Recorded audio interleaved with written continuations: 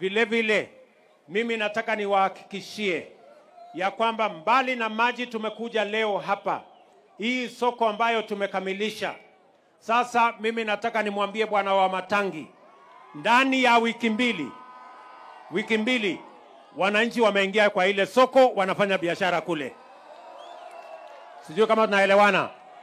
Mimi nataka pia niwatangazie watu wa Githurai, najua ile soko ni kidogo, wafanyabiashara hapa ni wengi, si ni kweli? Tuseme tu ukweli, ile soko haiwezi tosha, si ndio? Ni kidogo. So hapo tuko na ardhi na hata hii nyumba hii imeandikwa cooperative, tumenunua.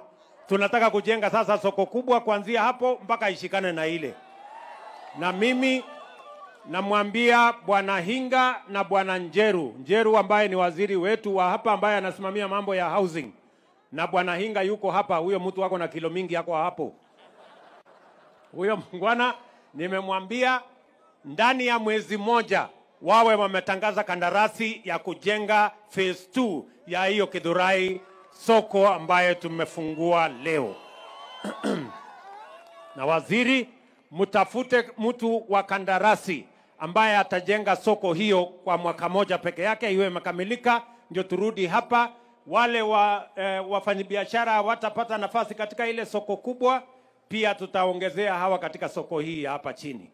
Na mimi nataka niwaeleze pia watu wa Kiambu, mliona wiki hii tumetangaza soko ingine mia nne Kenya, na hapa Kiambu tutawajengea soko ingine kumi na tano.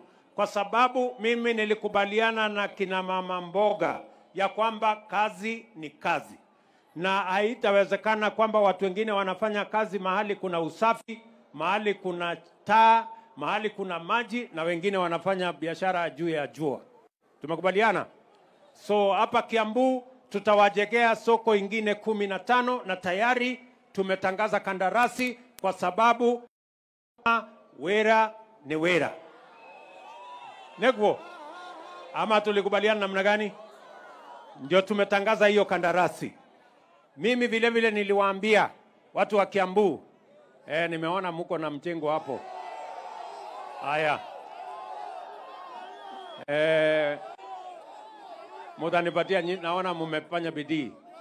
Sawa.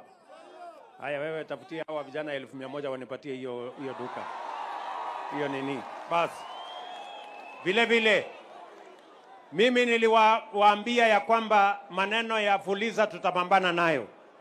Nyinyi watu wa Kiambu